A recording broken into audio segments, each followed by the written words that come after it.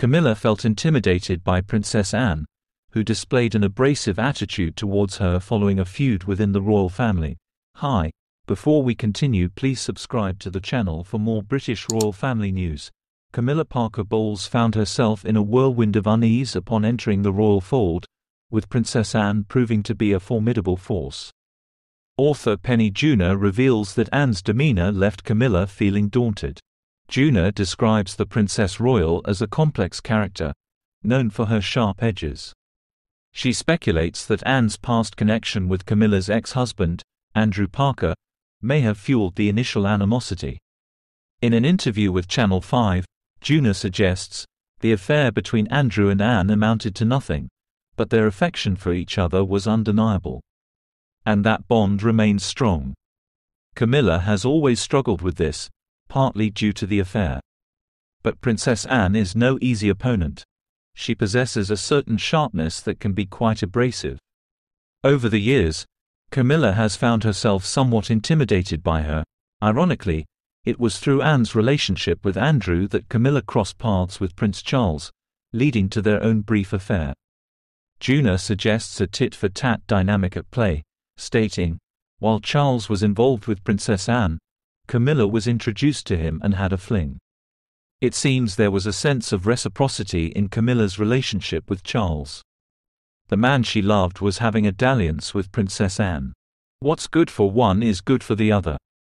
Camilla initially married Andrew in 1973 after her split from Charles, who later wed Princess Diana in 1981. Despite their separate paths, Camilla and Charles remained close, causing strain between the Prince and Princess of Wales until their eventual separation in 1992. Eventually, Camilla and Charles rekindled their romance and tied the knot in 2005. Andrew attended the wedding and continues to maintain a positive relationship with the royal family. Junor also highlights in the captivating documentary, The Royals at War, how Camilla had fallen deeply and passionately in love with Andrew, fearlessly taking on Anne in the process.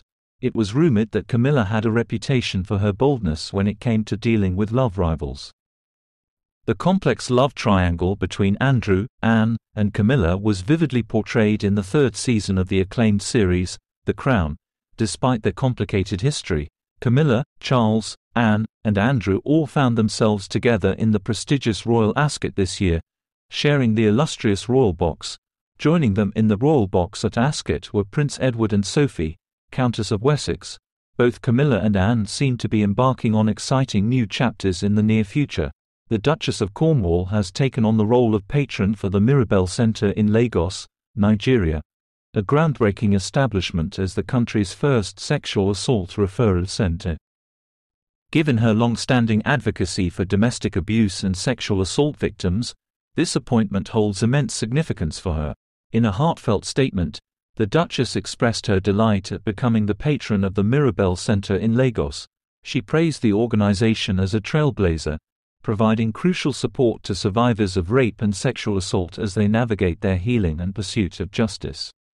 The Duchess expressed deep gratitude towards the dedicated staff and volunteers at Mirabel. Meanwhile, the Princess Royal, known for her unwavering determination, may make history by assuming the prestigious role of Captain General of the Royal Marines, becoming the first woman to hold this esteemed position. Insiders have revealed that Anne is eagerly interested in taking on this role. In alignment with the royal family's strong ties to the military, she currently serves as the patron of the Royal Navy and Royal Marines charity, as well as holding the position of Commodore-in-Chief for Portsmouth. The Queen's beloved daughter shared a close bond with her late father, Prince Philip, who was renowned for his deep affection for the British Armed Forces. Thank you for watching till the end. Please do share your thoughts in the comments section and don't forget to subscribe to the channel for more updates.